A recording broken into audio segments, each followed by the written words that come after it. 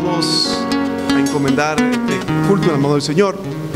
Hermano Freddy Peña viene para encomendar al Señor este culto.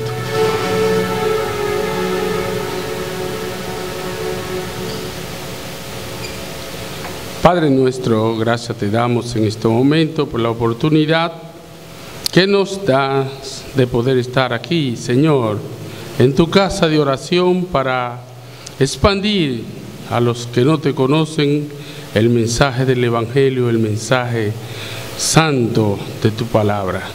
Permite, Señor, que seamos guiados por tu poder, el Espíritu Santo esté, Señor, en este medio como siempre, para guiarnos en este instante y para flexibilizar los corazones de las personas que no te conocen, puedan venir, abrir sus corazones a ti y encontrarse contigo personalmente y adherirse de la vida eterna. Gracias Señor por el privilegio que nos da de poder hablar de tu palabra en esta noche.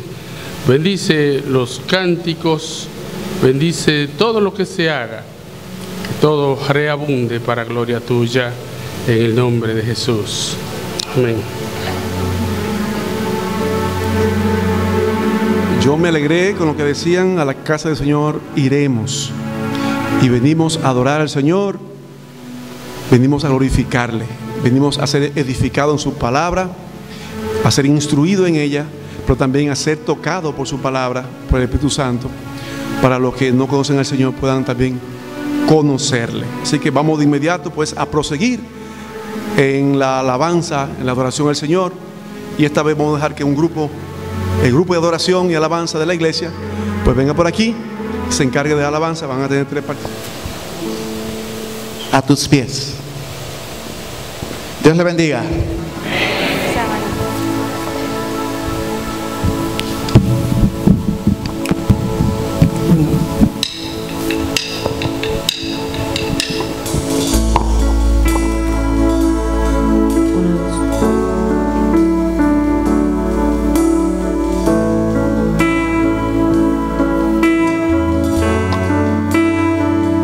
A tus pies arde mi corazón.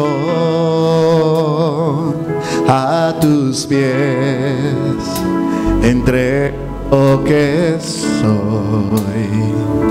Es el lugar de mi seguridad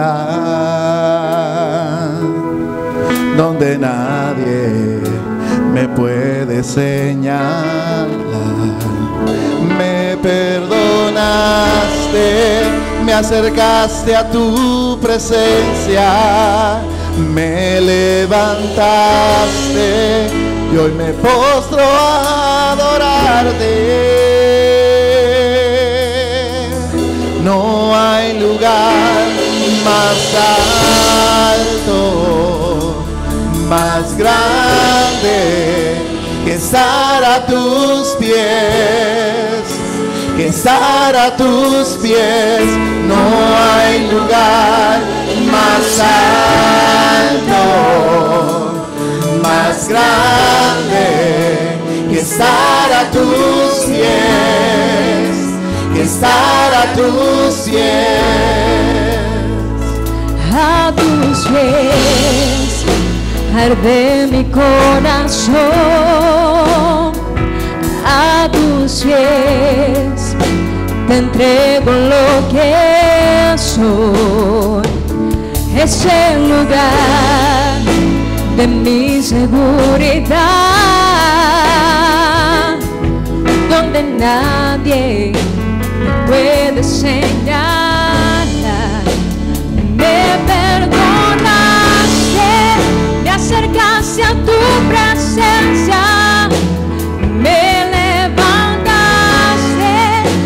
me paso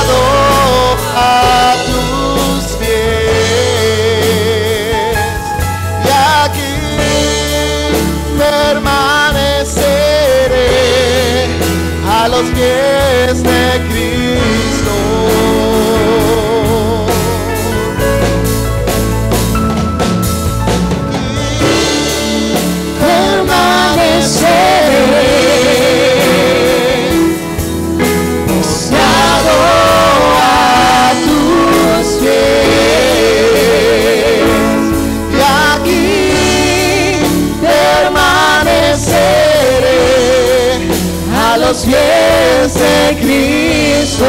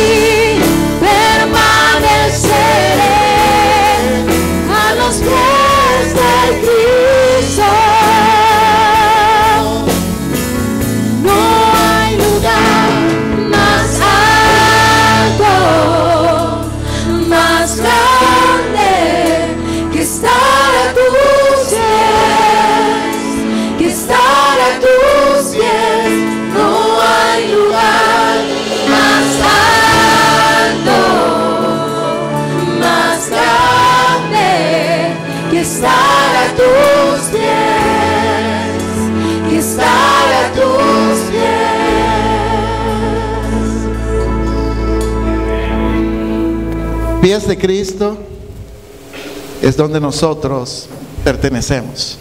Humillarnos ante Él porque ahí somos enaltecidos. Debemos glorificar a nuestro Dios, bendecirle por lo que es y por lo que ha hecho en nuestras vidas. A Él sea la gloria y la honra. Él es el creador también de todo. En Él se sustenta todo.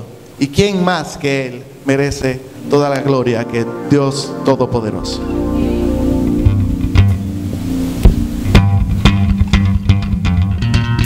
Puestos sobre sus pies, vamos dando las palmas.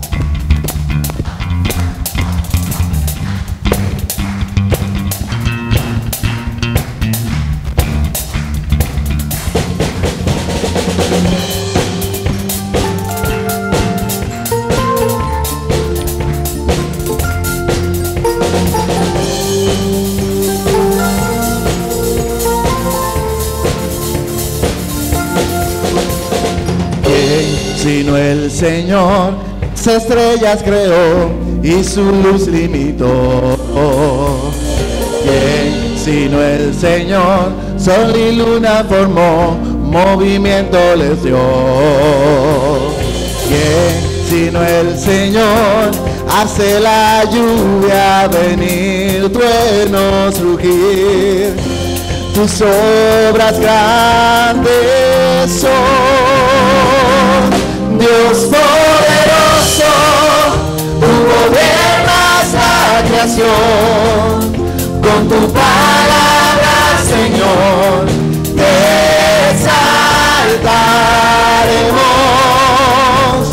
Dios poderoso, de ti canta la creación llenas todo tu Señor, exaltaremos por siempre y siempre, oh Dios.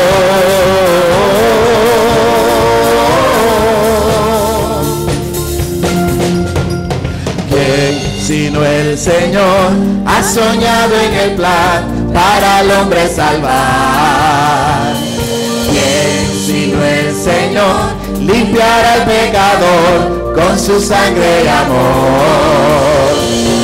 ¿Quién sino el Señor puede dar vida y salvar por una cruz? Tus planes grandes son, Dios poderoso, tú gobiernas la creación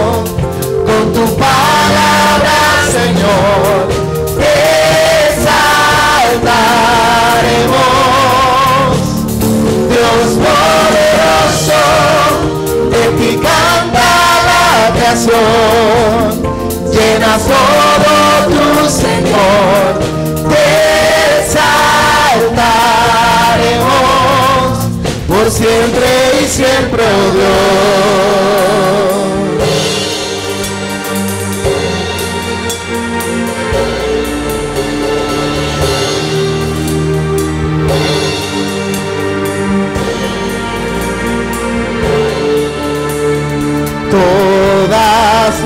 Cosas vienen de ti, por ti,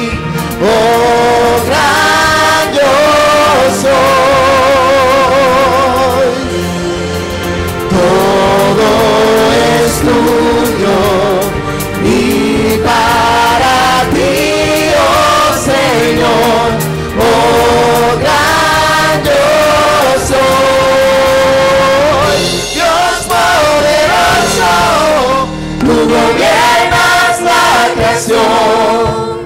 Con tu palabra, Señor, te exaltaremos. Dios poderoso, de ti canta la creación. Llenas todo tu Señor. Te exaltaremos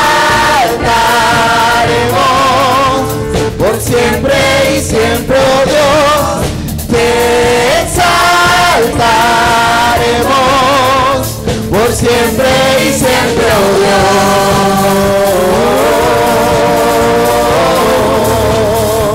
Por siempre y siempre, oh Dios.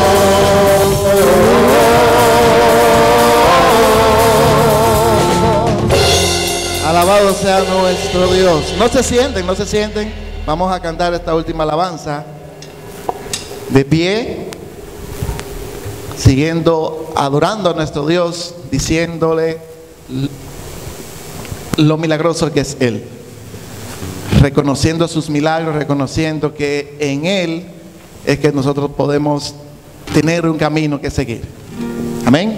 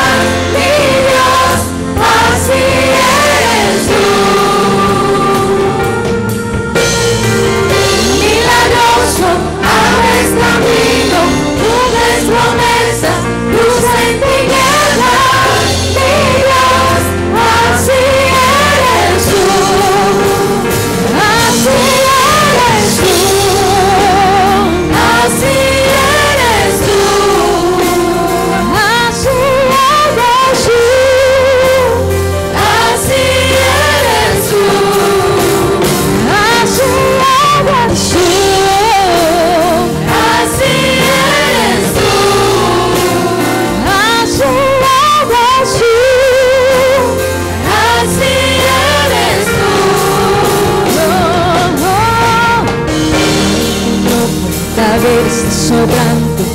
Aunque no pueda ver, está sobrando. Siempre estás, siempre estás sobrando. Siempre estás, siempre estás sobrando. Aunque no pueda ver, está sobrando. Aunque no pueda ver, está sobrando. Siempre estás, siempre estás sobrando. siempre estás sobrando. Aunque no pueda ver, estás sobrando. Aunque no pueda ver, estás sobrando. Siempre estás, siempre estás sobrando. Siempre estás, siempre estás sobrando. Aunque no pueda ver, estás sobrando. Aunque no pueda ver, estás sobrando. Siempre estás, siempre estás sobrando. Siempre estás, siempre estás sobrando. Milagroso, abres camino, cumples promesas, luz en tinieblas.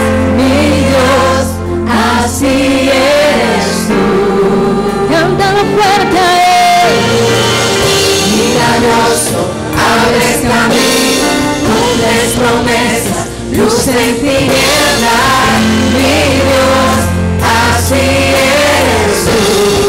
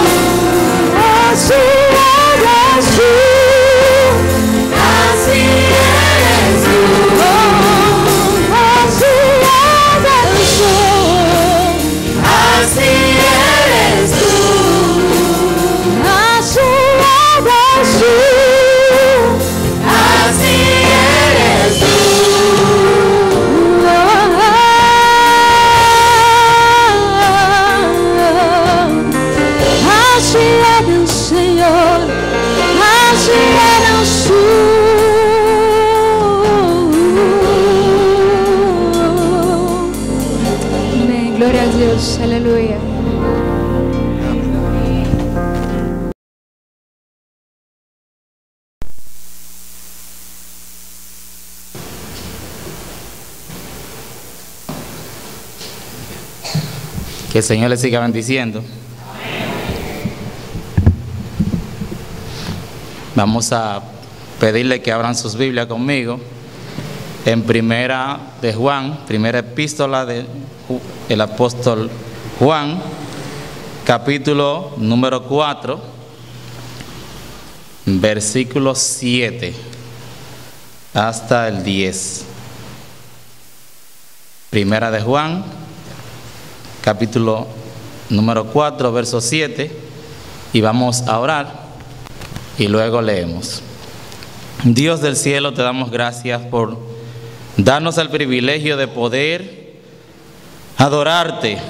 Tú eres milagroso, tú eres el que abres camino, cumples promesa.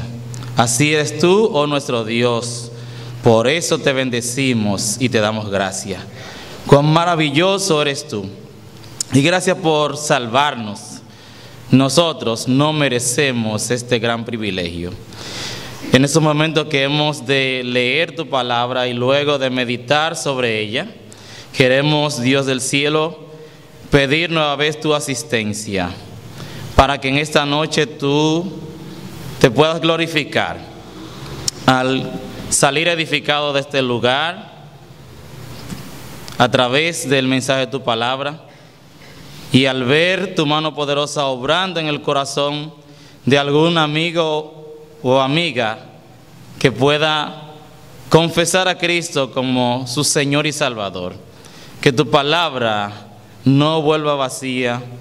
Dios del cielo es nuestra oración. Glorifícate y úsanos como un instrumento en tus manos. En el nombre de Jesús. Amén. Primera de Juan, capítulo número 4, verso 7, dice la palabra del Señor.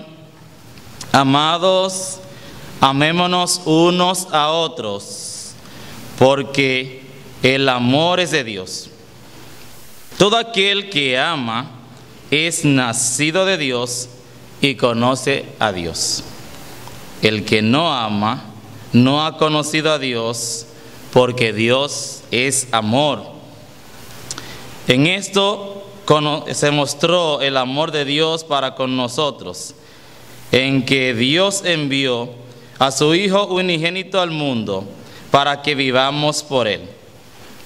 En esto consiste el amor, no en que nosotros hayamos amado a Dios, sino en que Él nos amó a nosotros y envió a su Hijo en propiciación por nuestros pecados.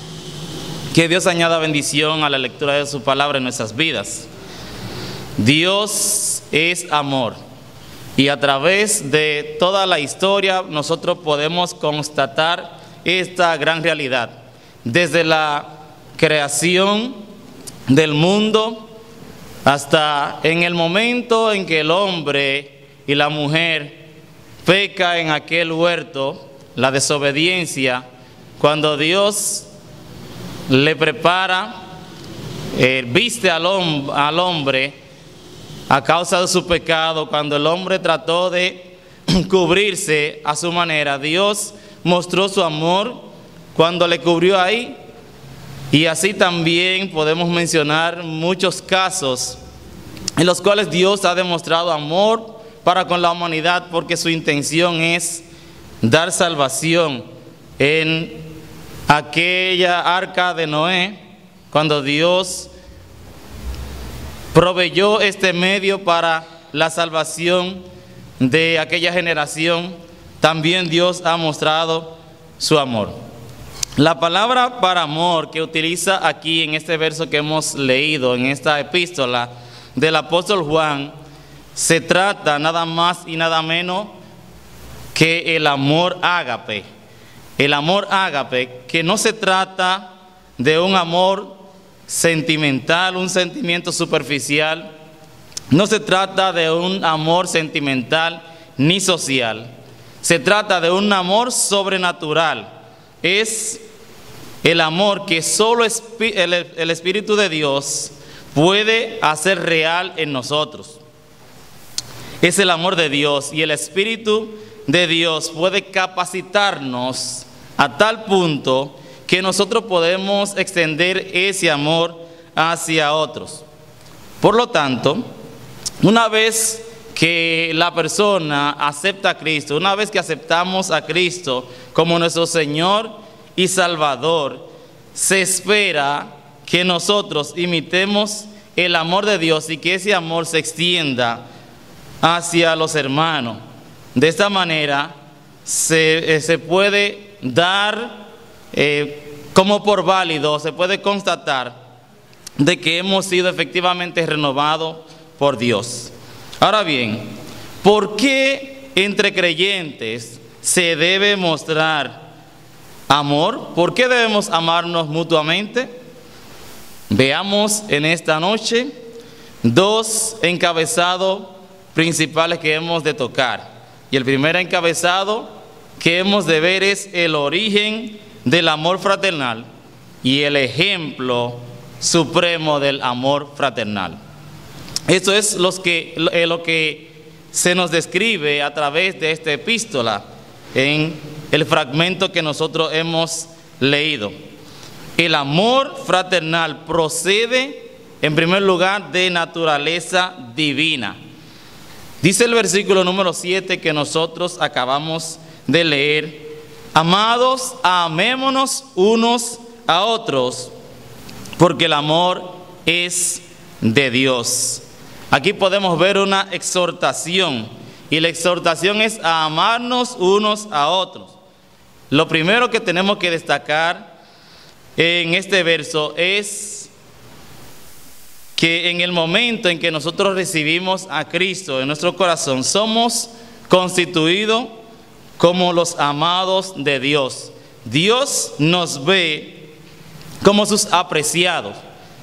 Estamos protegidos por el ser supremo y sublime, por el mismo Dios Todopoderoso.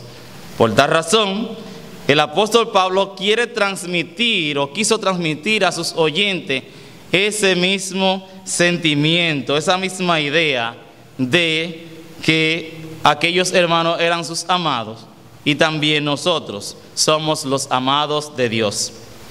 El apóstol Juan exhorta a los creyentes que se amen unos a otros, porque una de las marcas distintivas de la persona que conoce al Señor, que ha aceptado al Señor, es que se evidencia amor los unos para con los otros.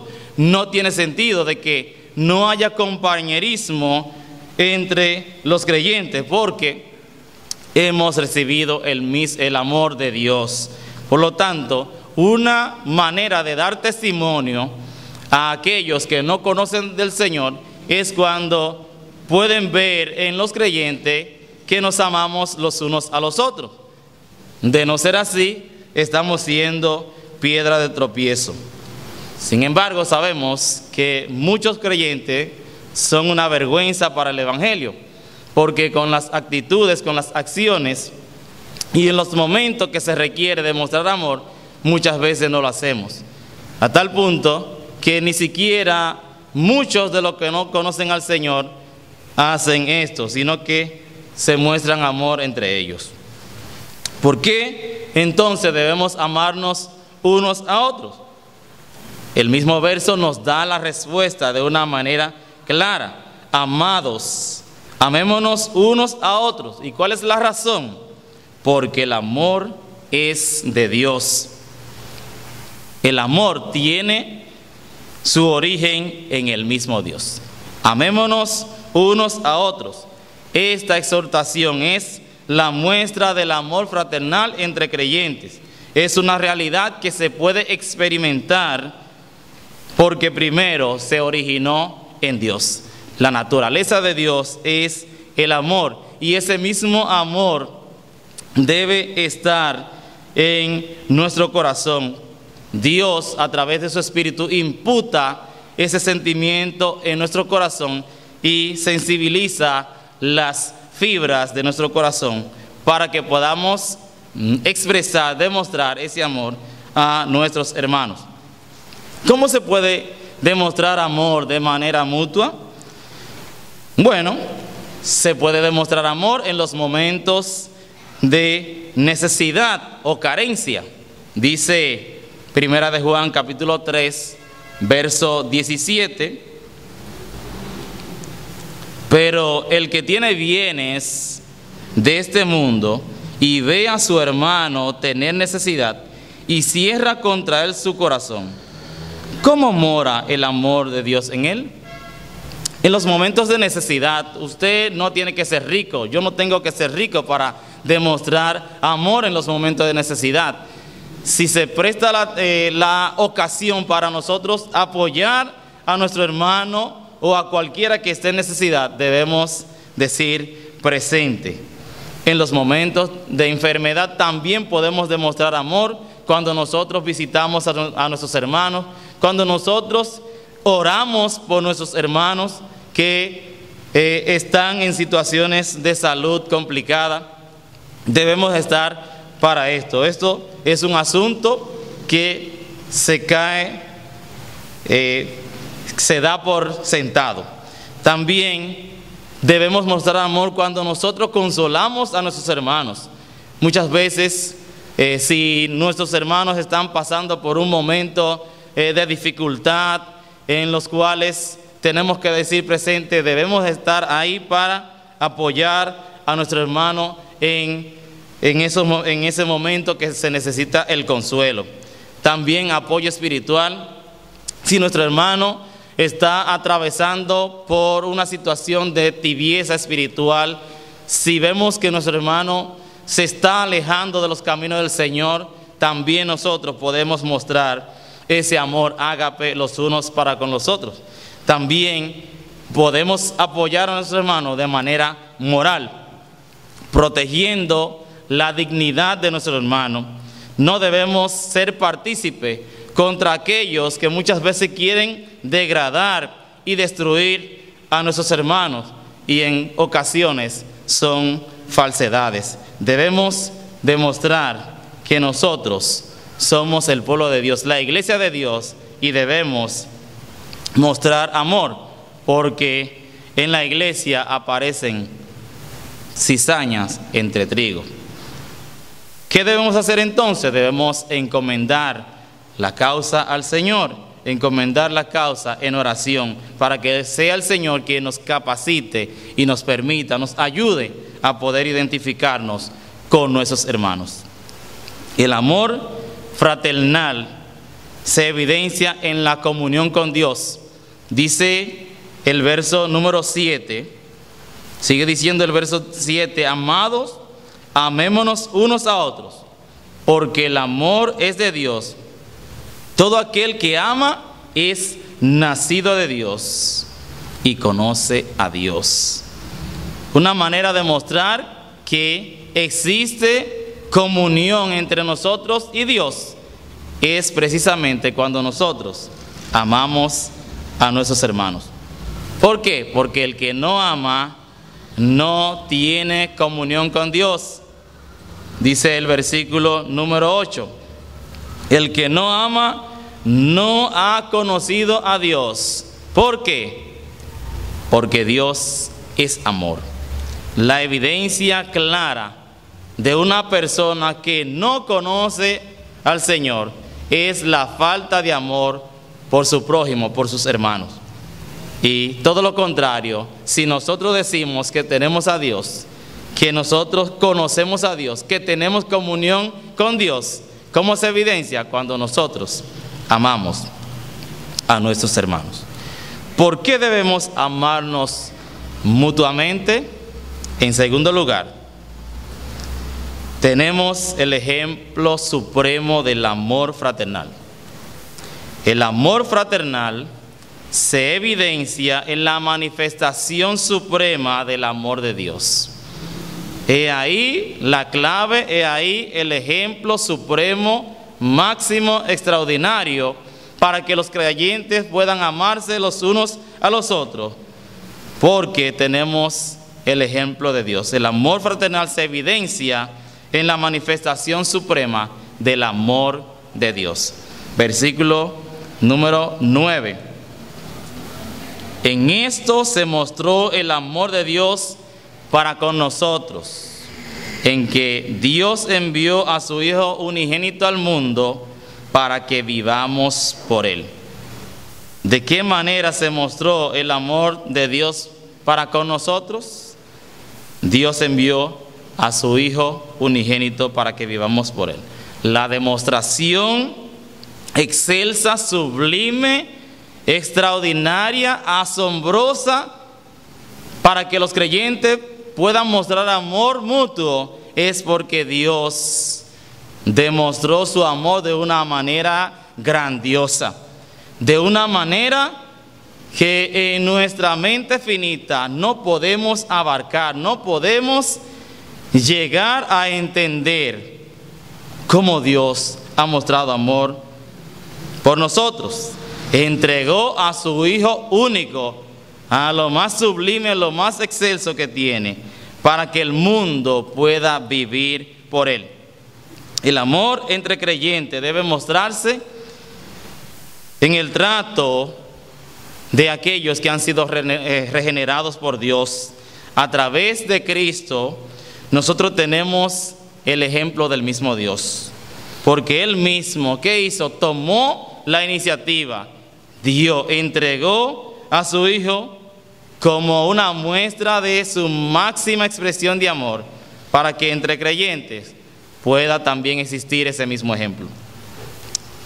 Juan capítulo 3, versículo 16 nos dice, porque de tal manera amó Dios al mundo de una manera extraordinaria, excelsa, que sobrepasa todo entendimiento. De esa manera amplia Dios amó al mundo y lo hizo como entregando a su Hijo único para que todo aquel que en Él cree no se pierda, mas tenga vida eterna. Lucas 19:10, porque el Hijo del Hombre vino a buscar y a salvar lo que se había perdido. ¿Y quién entregó a ese hijo? ¿Quién envió a ese hijo? El mismo Dios.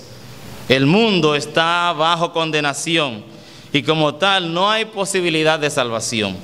Solo con la entrega de nuestro Señor Jesucristo en la cruz del Calvario es que la persona, el ser humano, al aceptar ese sacrificio puede tener comunión con Dios. En primer lugar, salvación, comunión con Dios y amor entre los creyentes y amor entre sus hermanos. El Hijo del Hombre vino a buscar y a salvar lo que se había perdido. Y esa es la realidad del ser humano. Sin Cristo estamos perdidos. Sin Cristo estamos bajo condenación. Pero el historial de la vida del hombre y la mujer cambia a través de ese maravilloso intercambio que se dio en aquella cruz. Dios permitiendo que su hijo, quebrantando a su hijo en aquella cruz, en nuestro lugar, mostrando de este modo que su amor es inigualable, que su amor se extiende para toda la humanidad, su amor no tiene límite y Dios espera que una vez que le aceptamos, una vez que usted le acepta, también usted puede amar a su semejante. Nosotros que éramos viles pecadores, que no merecíamos que Dios hiciera esto por nosotros, pero lo hizo porque nos amó. Por tal razón, eh, el mismo apóstol Juan, en primera de Juan, capítulo 3, versículo 18, nos dice qué tenemos que hacer nosotros los creyentes. Nos dice, primera de Juan, capítulo 3, verso número 18, hijitos míos, no amemos de palabra ni de lengua, sino de hecho y en verdad. Nuestro amor no debe ser palabrerías, debe ser un amor demostrable. Dios demostró su amor. Nosotros también tenemos que amarnos en la práctica, no en palabrería. El amor fraternal es posible. ¿Por qué? Porque nosotros tenemos redención en Cristo. Versículo número 10. Dice el verso 10 de primera de Juan, capítulo 4, versículo 10. En esto consiste el amor. No en que nosotros hayamos amado a Dios, sino en que Él nos amó a nosotros y envió a su Hijo en propiciación por nuestros pecados. En esto consiste el amor, no en que nosotros hayamos amado a Dios, sino en que Él envió a su Hijo en propiciación por nuestros pecados. Y como lo expresa alguien, dice, la preeminente manifestación del amor no fue la encarnación, sino la redención. ¿Cómo se mostró esa preeminente, esa preeminencia, ese preeminente amor para con nosotros cuando Dios nos redimió y por lo tanto nos capacitó para nosotros amarnos unos a otros? ¿En qué consiste el amor de Dios para con nosotros? No consiste en que nosotros hayamos amado a Dios, sino en que Él lo hizo primero. Dios toma la iniciativa siendo nosotros despreciables pecadores, desobedientes, siendo nosotros enemigos de Dios, siendo nosotros amigos de Satanás. Aún así, Dios mostró su amor. A pesar de que no existía comunión entre nosotros y Dios, Dios demostró su amor. Dice Romanos, capítulo número 5, Romanos capítulo 5, versículo número 10.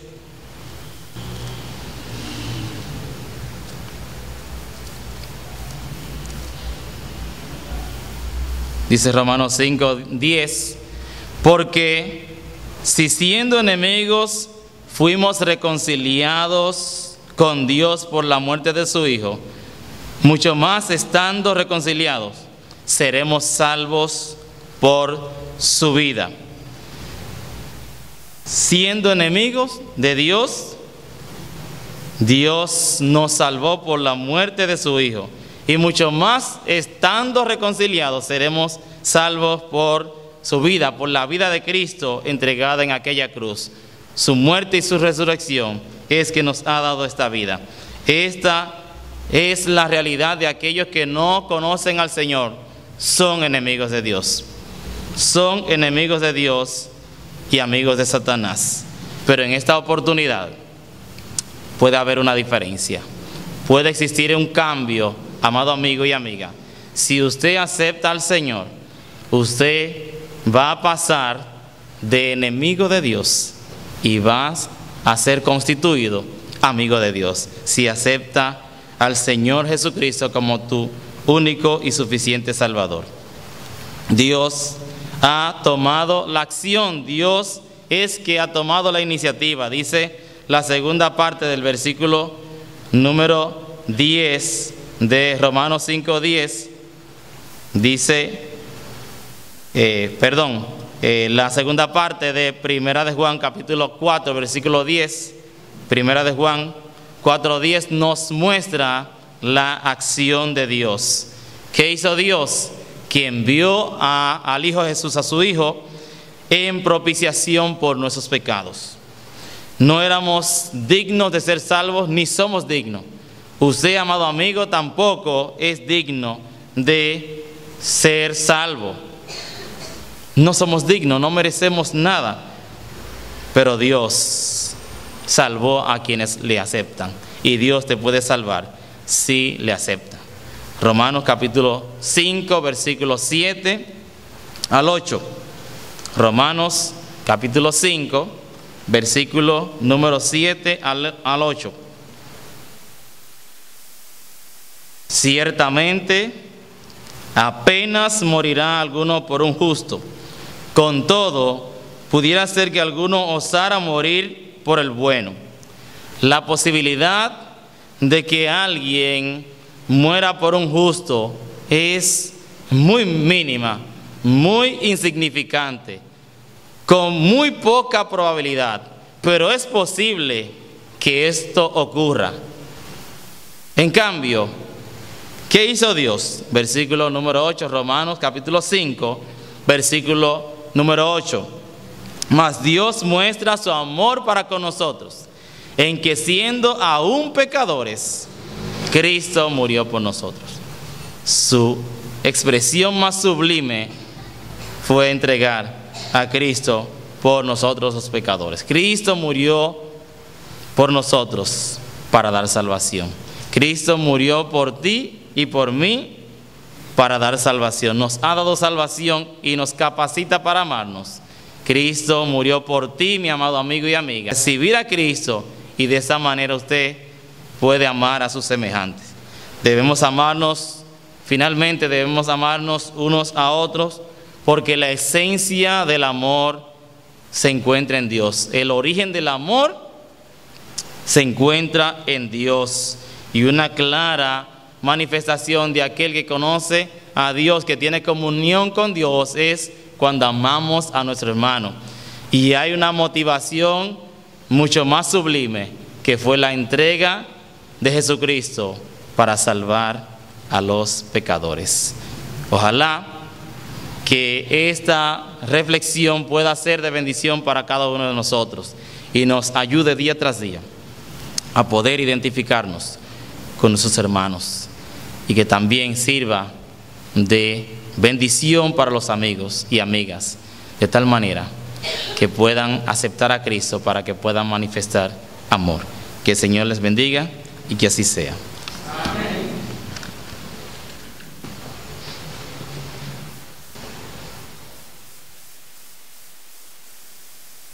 En esta noche el Señor quiere salvar a las personas que están sin Él. Bienvenida a Jesús, créelo pobre pecador, al que busca de la luz, vague ciego y sin temor,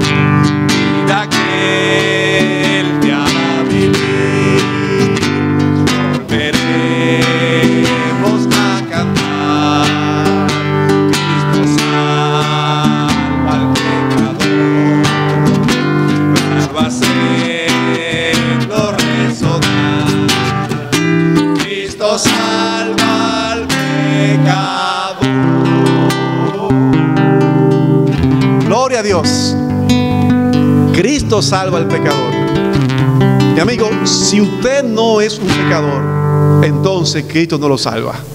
Porque ya usted, usted está bien, ¿verdad? Aunque la Biblia dice que no hay justo ni a un uno. Ni siquiera para remedio aparece uno bueno.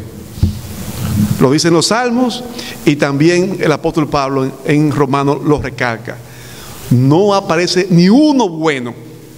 Así que usted es un pecador al igual que yo. Por tanto, Cristo lo salva en esta noche. Porque el problema no es que usted va a ser castigado, no es que usted va a ser condenado. Eso no es lo que dice la Biblia. La Biblia dice que ya, ya ha sido condenado. No es que usted va a ser condenado, es que ya usted está condenado. Esa es la condición del ser humano. Así que si viene a Cristo, pues ya deja de ser condenado. Ya no hay condenación para los que están en Cristo Jesús.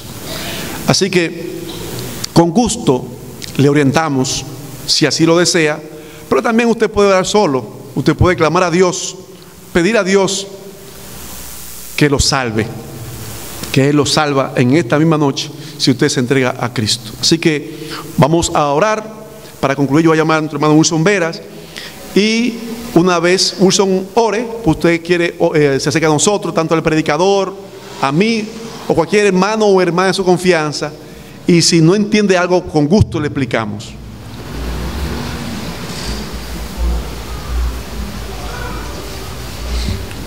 Te alabamos, Señor, en esta noche porque tu palabra ha sido expuesta. Gracias por las alabanzas y gracias porque nueva vez se resalta de tu amor para con nosotros.